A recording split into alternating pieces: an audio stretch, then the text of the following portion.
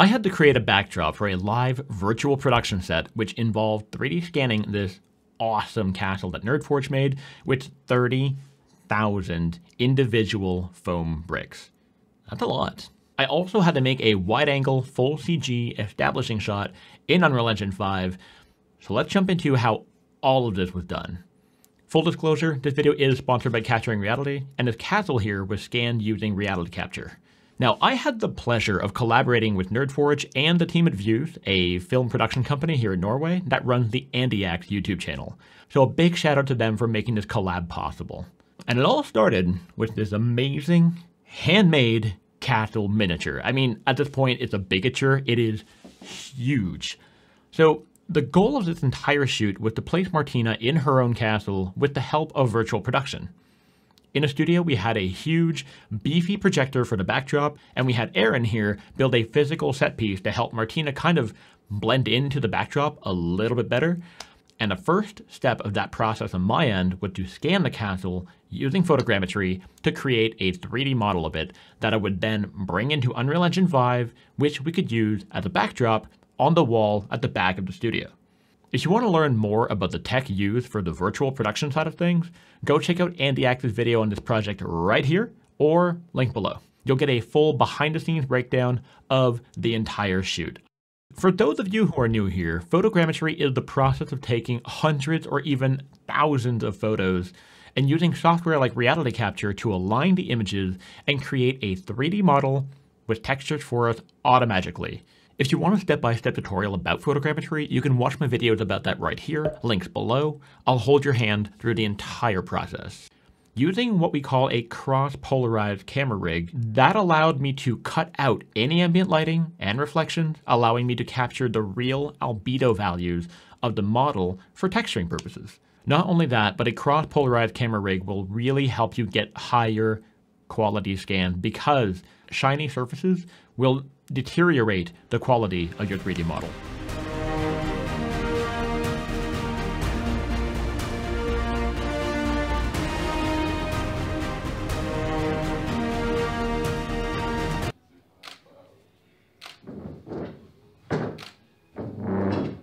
Now, with the photos taken, I bring the images into Adobe Lightroom to adjust the images a tiny little bit for better processing, a little bit of sharpening, a little bit of white balance correction, that kind of thing.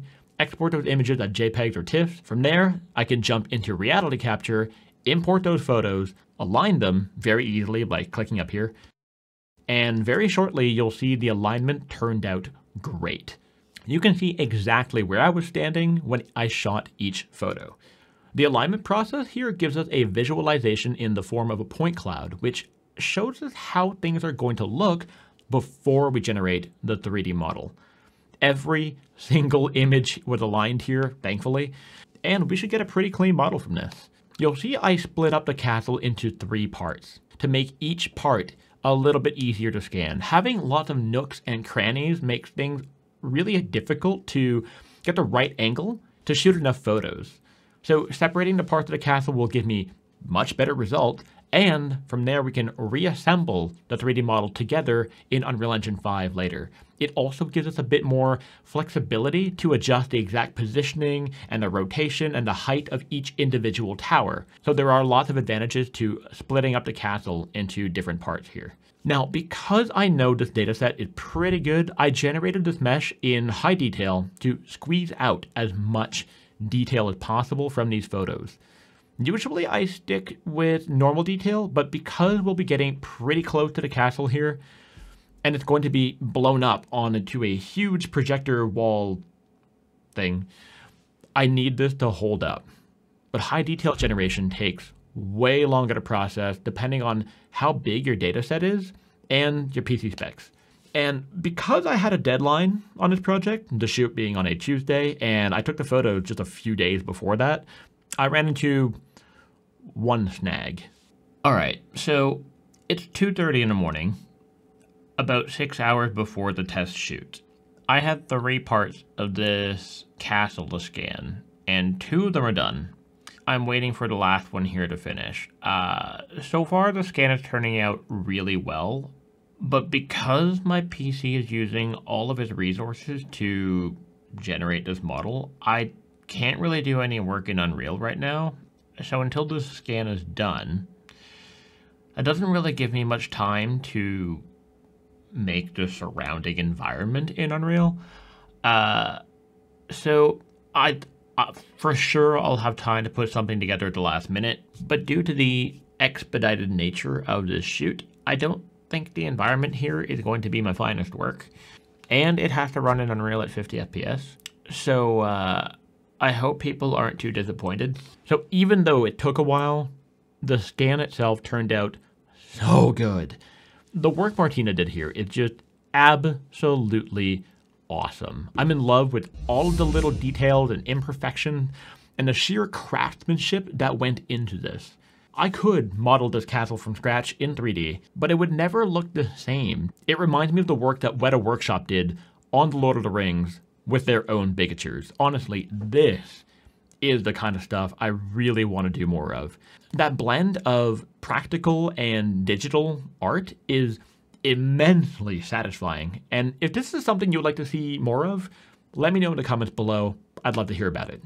So, on set, we had three shots to do. A daytime sunset shot, a nighttime shot at another angle, and a wider over-the-shoulder shot. Like in any production, you run into some issues on set, things not working, you are on a tight schedule because tons of other people are involved and you don't want to waste their time. So sometimes you need to improvise and adjust things on the fly. This shot here, for example, I had a pretty sweet looking environment done with lots of lush trees and foliage, and for some reason, half of the environment would just not show up when we launched nDisplay. So I had to make this shot here in about two minutes as a Hail Mary of sorts, just to have something that we could continue the shoot with. The whole project was more of a tech demo to see what we could do on a tight budget, but it was a whole lot of fun, even if the environment here in Unreal was not spectacular. With the shoot done, we still needed one more shot, a full CG, pre-rendered, wide-angle establishing shot, but now at least I had more than a few hours to just spend on it, meaning I can render something out, max out those quality settings, and deliver a gorgeous shot. So, back into Unreal again, I quickly set up a camera, I established a rough landscape of the shot to make sure the framing was okay, placed the castle, I added ultra dynamic sky to give it some lighting, added some water to make the shot more interesting, and then, using Unreal Engine 5.2's new procedural tools, I scattered trees and bushes across the entire landscape. And just like that, most of the work is cut out for us. I've got a tutorial on this coming soon, so be sure to subscribe so you don't miss that. You may have seen this tool in Epic's announcement videos. The PCG toolset is bonkers and a little bit complex and deserves a whole tutorial of its own, which is why I don't really want to half-ass it in this video whole ass one thing. From there, we can add some mountains in the background and more trees. It's worth noting that all of these trees all have nanite enabled, which is how I'm able to get a somewhat respectable frame rate despite having almost 100,000 trees in the level. Whoa. The rest involves polishing things up, adding some rocks and fallen trees along the edge of the coastline here, and for a final touch, adding EasyFog, which is a blueprint tool I made myself, which is for sale on the Epic Marketplace, link below. It's cheap and super easy to use and goes a long way toward adding a lot of mood and depth to your level. Using EasyFog here allows us to really help the clouds and mist blend into the mountains over here on the left of the frame. And now we can render the shot. With this many trees in the scene, fine sub-pixel detail becomes really important. So while my final output is going to be in 4K, I'm going to render this out at 8K using the screen percentage console variable, which will effectively super sample the image to get nice, crisp details. Taking a look at the comparison here between the regular 4K version and the oversampled 8K version, we get more shadow detail. Everything is just a tiny bit sharper and cleaner.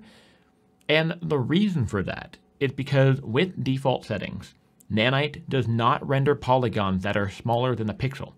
So by doubling your resolution, quadrupling your pixel count, you can render way more triangles, which ultimately gives you a lot more details. and better contact shadows in the distance. I'm giving away a render setting PDF for free with a clear explanation of my render settings. You'll even get a Movie Render Queue preset file that you can add to your own Unreal project. These are the settings that I use for my own renders, and it works like a charm every time. I'll be sure to keep that PDF and preset file updated as UE5 matures over time. Now, just be aware. When you're rendering this many trees in 8K, it's going to put a serious amount of strain on your workstation. You need a ton of VRAM, no way around it. VRAM usage scales with resolution. Fortunately, this is not a problem for NVIDIA's A6000, which has 48 gigs of VRAM. It's a beast of a card that can handle anything I throw at it. VRAM is gold, and you can never have too much. If you have to choose between a faster GPU or a slower GPU with more VRAM, go with a card that has more VRAM every time. For example, NVIDIA's RTX 3060 is a better GPU for Unreal than the 3070, despite being a slower card, because it has more VRAM. I cannot stress the importance of VRAM enough. So, the last step is always a subtle color grading pass where I adjust contrast, halation, film grain, add lens distortion, lens flare, all of the good stuff for that last little bit of garnish.